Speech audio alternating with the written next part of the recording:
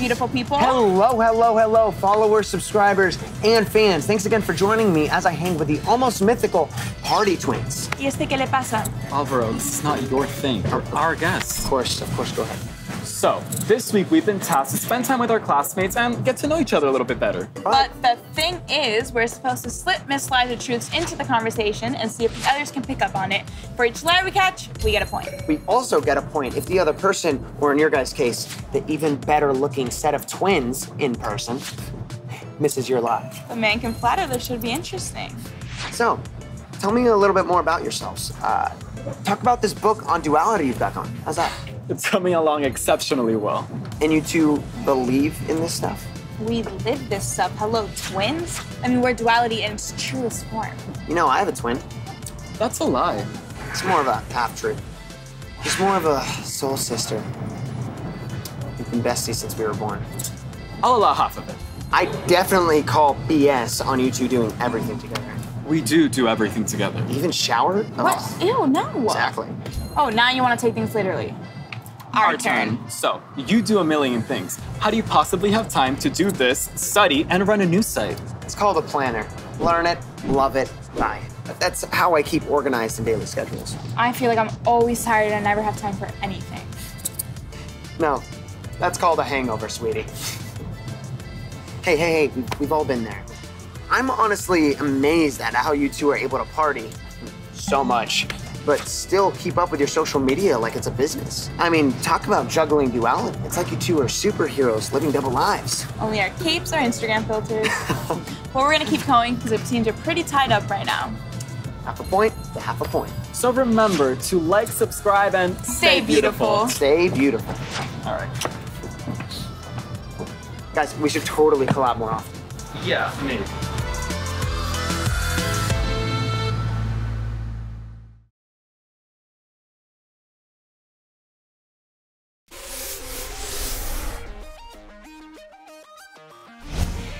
Friends and neighbors, welcome back. Joining me in my humble abode today, we have Dan Roland. This is my room. You have to say hi, Dan. It's what normal humans do. Hi. Dan is our resident ethicist, aka he's a big nerd who loves to talk about what makes people good or bad when he talks at all. So tell me, Dan, what makes you interested in a field where you'll probably never get paid? Well, our ability to uh, differentiate between good and evil is part of what makes us a thinking species.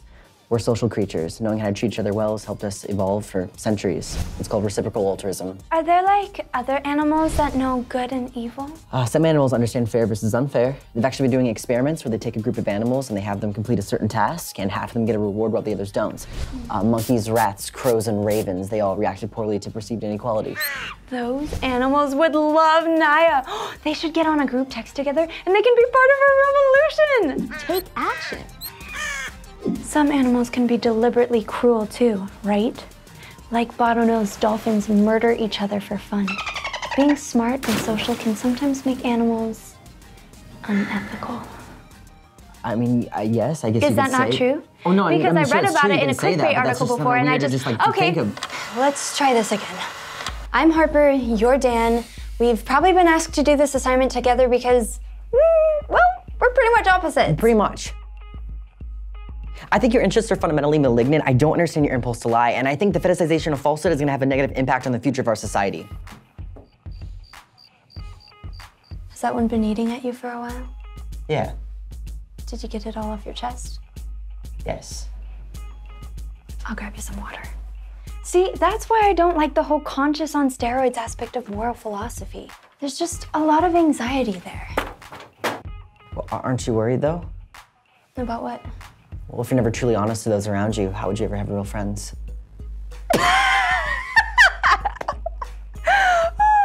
No, my friends, they know I'm always gonna be lying to them. So they can just trust that I'm always gonna be lying to them. It's a true north kind of thing. That sounds like moral relativism. That sounds like a very dull conversation. So, you have opinions on me. Fair enough. But I'm more interested in the opinions you have on the others. What, what do you mean? I mean, what's your take on this, Aristotle? Besides me, does anyone else stand out as suspicious? No, this isn't part of the assignment. DNZ, you snoop on everybody's social media pages. I'm not discussing this. I have a team of girls bound by WhatsApp texts helping me do background checks. We could be a team. I'm not gonna help you get an A in this class by gossiping on everyone. Wow. You're no fun at all. I know. That's not a compliment. Okay, what if I gave you some information on Bella and Ben? This won't be an exchange of information and you owe me nothing. No, that, that would still be cheating. And I'm pretty sure I'd owe you a little bit more than just nothing. All right. You're surprisingly smart. Thank you. Now let's see if you can spot other lies. Other lies, what, to Ah, admit? We have to do our homework now, Danny boy. Our assignment for this week is Spy the Lie. Dan and I will each tell each other something about ourselves. Then we'll sneak in lies into the conversation. Whoever can sneak more lies past each other will get a point. For the record, I, I really don't want to do this assignment. I know, Danny boy. Which is why this makes this such an easy win.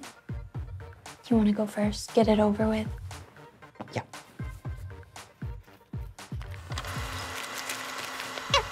Something you might not know about me is I'm, I'm really good at cooking. Uh, I, I learned where to get good, cheap ingredients and how to cook from our um, from the cooks in in our dorm kitchenettes, and um, I'm particularly good at making spaghetti carbonara. And I got all the cooking equipment at the campus yard sale uh, this semester, and I just I'm I'm great, and I use it all the time. What? Was it really good? Oh, Dan. No. Y- you have a tell. Really, what is it? Your whole face! How did you manage to not be able to lie about cooking? I've never seen somebody full body twitch before. I- I don't- You should probably get that checked out. It's fine. I'm fine. I wanted to win, but I didn't want to lie, and both can't be true at the same time. R.I.P. Spaghetti Carbonara. Okay, my turn.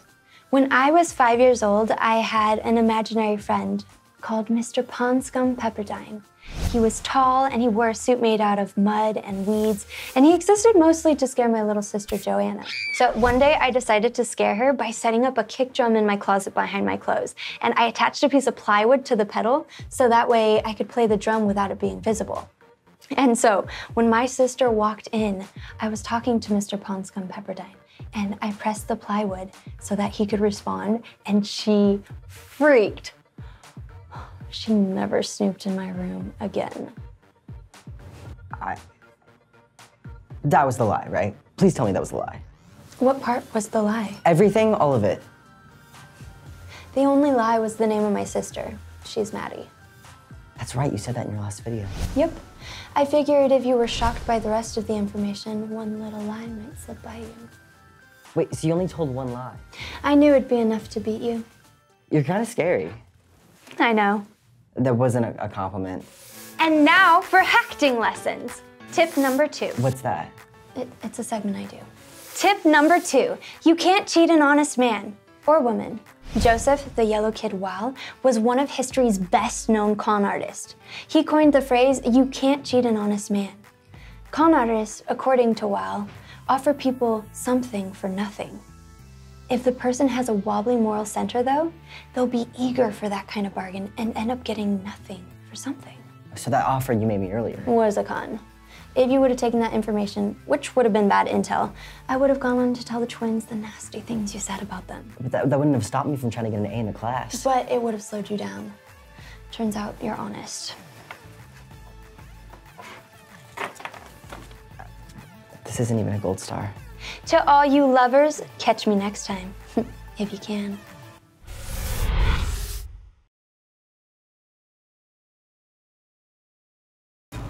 What's up, guys? I'm Naia. And I am Erika, artist, alien, and, athlete. Today, we decide what is truth and what is fiction. What is reality? and what is just a mere simulation. Join us, children, on this glorious journey. All right, then. Basically, we are going to be playing a fun little game of interview BS. Love that game. Childhood fave. Speaking of childhood, tell me a little bit about your parents.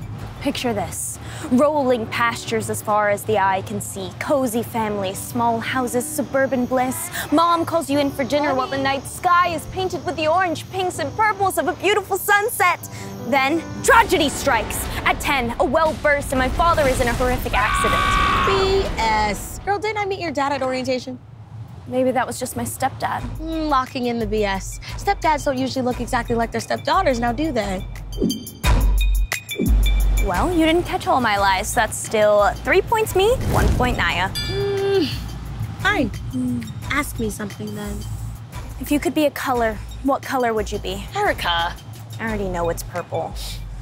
Okay, what is your guilty pleasure? I don't believe in guilty pleasures. BS. I wasn't finished. I don't really believe in guilty pleasures, which is true, by the way, so point me.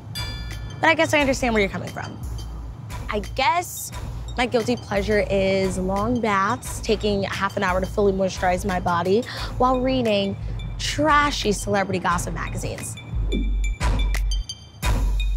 I still hold on to the fact that we shouldn't feel guilty for doing something that we want. Preach. I have never felt guilty for a single moment in my entire life. I just live my art. And if I evoke guilt or rage or passion or desire, then that's the entire point. If you could change one thing about yourself, what would it be? Easy. I would be five feet taller so no one could ever ignore me.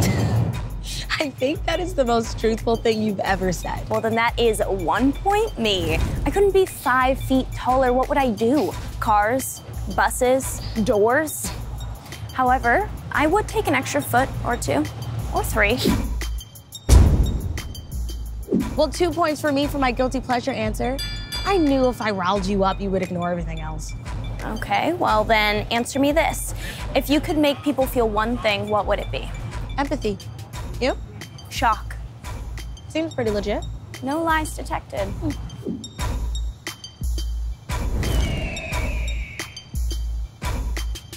How do you like this class? Honestly, I'm really grateful for this opportunity. I'm learning a lot. And at first, I was a little hesitant about Professor M, but I've come around to his teaching style. The class is super interesting and always keeps me on my toes. BS. There's no way you like Professor M. Sure, you're grateful to have a platform, but the rest is BS. Lies, lies, lies from the truth crusader, Naia Santos herself. All right, I tried. Bonus question Did you start that fire? Wow. Right to the point. Yes, I did start the fire. I started the fire because fire is cleansing. I was preparing for a performance piece on different cleansing rituals. I was burning some sage. It got a little out of hand, and you know the rest of the story. BS. I guess we'll never know. Well, that about wraps this up. In case you guys were keeping track, uh, I won. No, I won. I am the queen of lying. Well, I guess I'll just give you that title. Until next time, later, coconuts.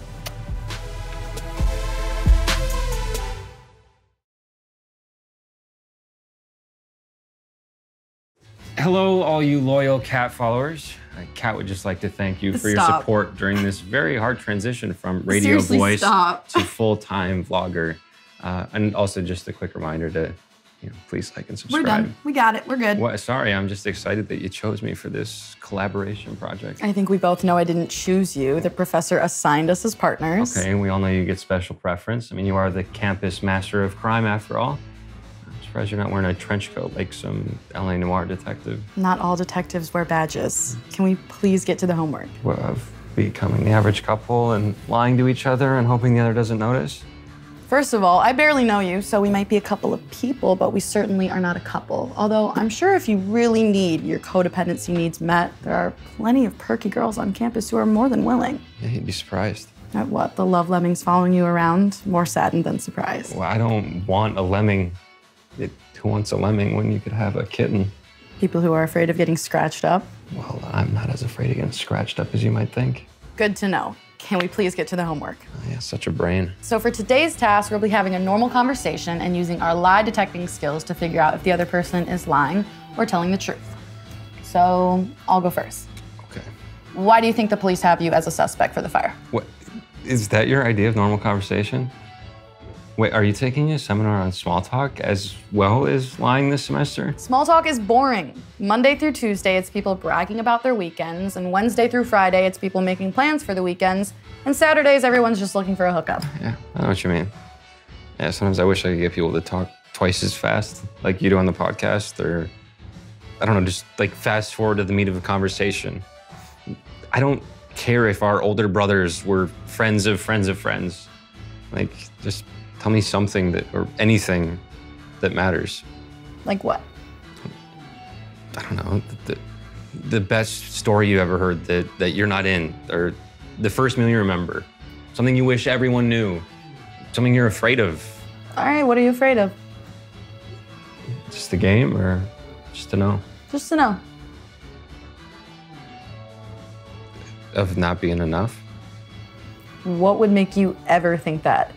I mean, freshman girls practically have shrines dedicated to you in their communal bathrooms. Okay, sure, that's nice, uh, but that's just them building up the idea of me, right? Like they've turned me into some fantasy, and I can't really keep up to that. It's not easy being this charming all the time. Anyways, I don't know. I find that the more people know me, the less they like me. I guess an idea is always easier to love than an actual person. I guess. So, what are you scared of? Still not playing the game? Just wondering about you. Okay, this is gonna sound dumb. Doubtful. You know how in physics class we learned that we're all made up of atoms? So, in a very real way, our bodies are governed by quantum mechanics, just like the stars in the sky. Okay, not really sure why this is scary, I'm but getting to it. One of the scariest moments for me was when Professor Vickery was explaining this, and I can't really understand the science, but basically, she explained that we never actually touch anything. I mean, yeah, our brains make us think we are by reacting to the electromagnetic fields around them, but the two atoms never actually touch. meaning that we can never really touch anything. Not even each other. Yeah, that is scary. It terrifies me, like how alone we actually are. We spend our whole lives trying to connect with people, but at the end of the day, we really only have ourselves. Is that why you've pretty much given up on having friends? I have friends. Well, you have a, a co host and a roommate, but I've never really seen you hanging out with friends. Okay, fair point. Hey, who am I to judge? I'm pretty much the poster kid for feeling alone in a crowd. But I don't know, I just want you to be happy. Why do you care? Well, if you can't ever really touch anyone, then the least you can do for someone you care about is try to make them happy. Well, it would make me extremely happy if we could finish the homework. Okay. Homework done. You win. You spotted all my bro douchebaggery lies. What? What you win? Why? What? Because I don't want to lie to you. Even if it is just a game.